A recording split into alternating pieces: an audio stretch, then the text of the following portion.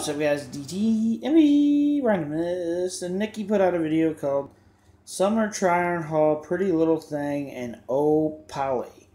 Uh, the very first outfit she tried on was a Hawaiian type outfit.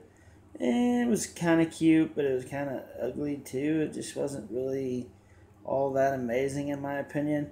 Then her second outfit was a white bikini.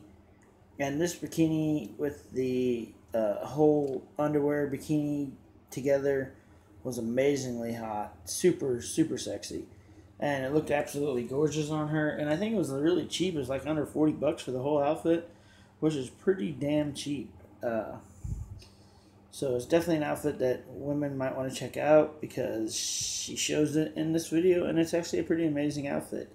Then she tries on these pink uh, these pink pants that you can see here in this picture, and holy crap does she look good with these pink pants. I think this outfit here, probably with like a sh- like a I don't know a V V neck shirt or something, something that's like kind of comes down like down here on her would look amazing. Some type of shirt that does that uh, with this pair of pants would be freaking amazing.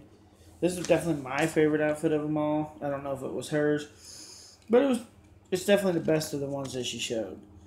Then they showed a uh, pretty much like six or seven more outfits after this, and I thought they all sucked. Like I didn't even write down what they were because they just weren't that good. Like this is an amazingly beautiful woman, and you would think she'd get outfits that make her look absolutely stunning, and they just didn't work for me. But this outfit here is very awesome.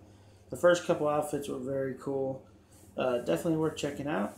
If you want to follow me on Facebook, link below where I do giveaways every single month, you can go down there and do that. Follow me on Facebook. If you want to send me something cool to my P.O. Box, that's in the description below. Like, share, comment, and subscribe to my YouTube channel.